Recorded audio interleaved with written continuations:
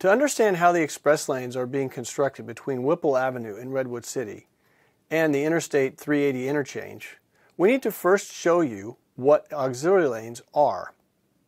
Let's begin by looking at a stretch of freeway without auxiliary lanes to see what happens without them. As we see in this graphic, cars merge directly from an on-ramp into the outside general purpose lane. They also exit directly from this outside general purpose lane onto their off-ramps. Without the presence of an auxiliary lane, drivers create congestion as they enter the freeway by forcing those vehicles already in the general purpose lane to change speeds to make room for the entering vehicle. Vehicles exiting the freeway without the extra lane provided by an auxiliary lane create congestion in the outside general purpose lane as they slow down to safely get off the freeway. In order to fix this conflict, traffic engineers have created and implemented auxiliary lanes, which are direct ramp to ramp connections that provide a merging area for cars to enter and exit the freeway.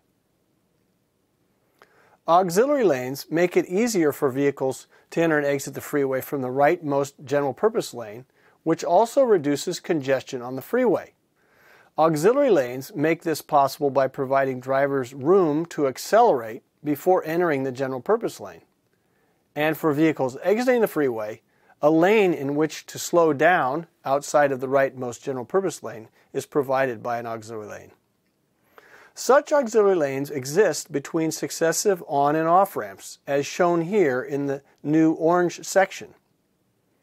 Cars first enter the auxiliary lane, adjust their speed, and then merge safely into the rightmost general purpose lane. Exiting vehicles can move out of the rightmost general purpose lane before slowing down to leave the freeway. Throughout the San Mateo 101 corridor, there are a significant number of existing auxiliary lanes. These existing auxiliary lanes provide an opportunity to create an additional general purpose lane by connecting them through each interchange, as shown here in the purple sections. The project will first convert the existing northbound and southbound auxiliary lanes into new general purpose lanes.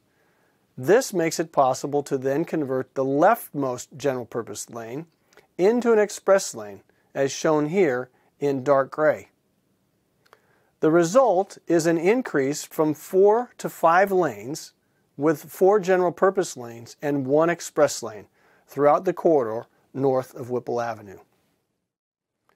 Then, to address the loss of the auxiliary lanes, the project will create new auxiliary lanes as shown here in blue. The result will be improved traffic flow, including express lanes with reliable travel times to encourage carpooling and bus trips.